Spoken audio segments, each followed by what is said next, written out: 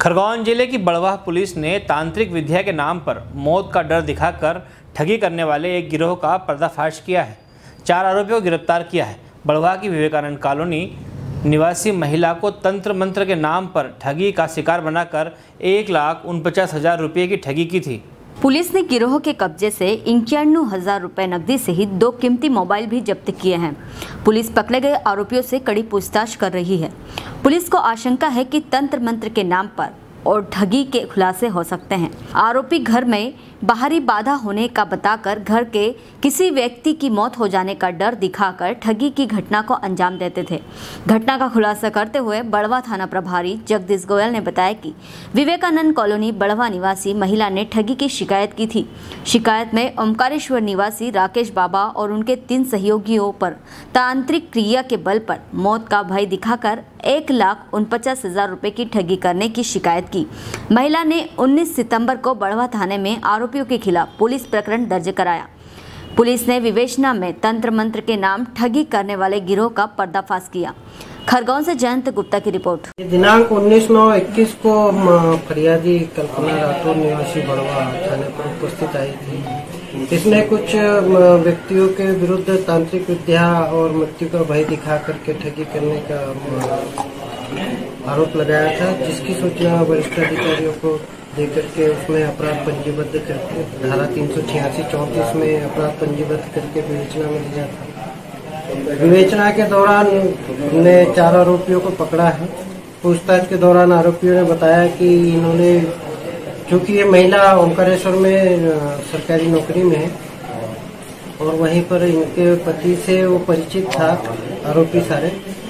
उन्होंने बताया कि आपके पति ने हमसे पाँच सौ रुपये उधार लिए हैं और इस बहाने महिला के घर गए। जब महिला बीमार थी, इन्होंने वहाँ पर नींबू काट करके घर के आसपास देखा और महिला को बताया कि तुम्हारे घर में किसी की मृत्यु होने वाली है और इसमें पूजा पाठ करना पड़ेगा। क्योंकि महिला खुद भी उस वक्त बीमार थी, इसलिए वो घबरा गई थी। तो उसने तुरंत इनको उपाय और उसके निराकरण के लिए बताया तो इन्होंने पूजा पाठ के नाम पर पाँच हज़ार रुपये लिए।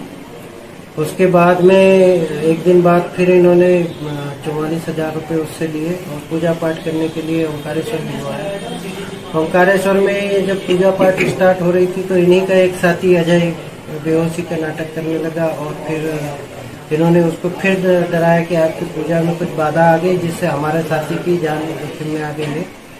और फिर अपने ही साथी की मृत्यु का भय दिखा करके महिला से एक लाख रुपए की और डिमांड की, जिसकी पूर्ति की उसने। उसके बाद पच्चीस हज़ार रूपए और इन्होंने मांगे, क्योंकि महिला के पास में कोई पैसा था नहीं तो इसलिए वो पुलिस की मदद के लिए थाने आए।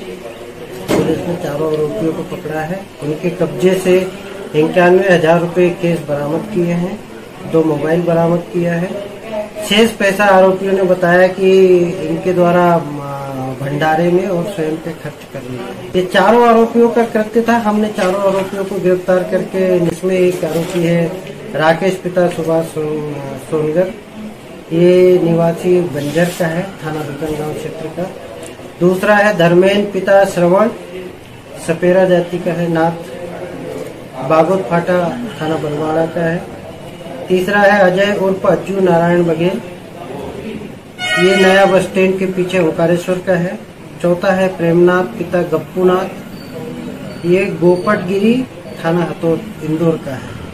क्योंकि चारों आरोपी ओंकारेश्वर में ही रहते थे हेलो फ्रेंड्स आप देख रहे हैं हमारा channel S W twenty four news हमारे सारे वीडियो सबसे पहले देखने के लिए आप हमारे चैनल को सब्सक्राइब करें और पास में लगे बेल आइकन को दबाना बिल्कुल भी ना भूलें।